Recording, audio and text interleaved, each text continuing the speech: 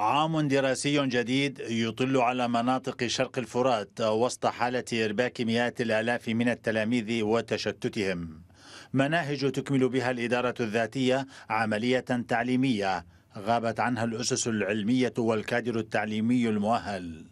واقع قاس فرض لجوء أعداد كبيرة من الأهالي إلى تعليم أبنائهم وفق منهاج الدولة السورية رغم التضييق الشديد من قوى قصد والأسايش. هو آه، منهاج آه، مغاير للأصول والعادات والتقاليد المتعارف عليها في تلك المنطقة وغير آه، غير متناسق كأسلوب تربوي وكمنهاج حضاري يناسب جيل أو أو ينشئ جيل تعلم في المدارس السورية وأنشئ في في حب في حب الوطن وتغنى فيه.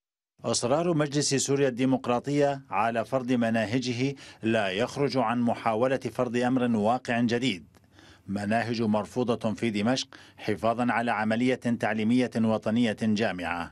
بالرغم من تصريحات رسمية عن إمكانية تعليم اللغات المحلية كالكردية وغيرها لساعات محددة أسبوعية إلى جانب اللغة العربية. ترفض الحكومة السورية رفضا قاطعا بالتعامل مع تلك الم... مع مع هذا المنهاج التي أفرضته وتفرضه أجندات خارجية تمليها على ميليشياتها في في الداخل السوري.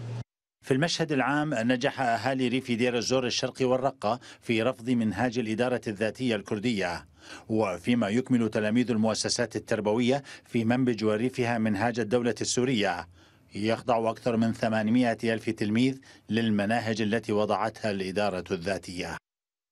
أخضاع التعليم للتوجهات السياسية الضيقة ولمنطق الأمر الواقع يهدد مستقبل أجيال بكاملها. في المناطق الخاضعة للقوى الكردية شرق الفرات خسارة أخرى تتكبدها سوريا ضمن سلسلة الخسارات التي تكبدتها خلال سنوات الحرب. محمد الخضر دمشق الميادين.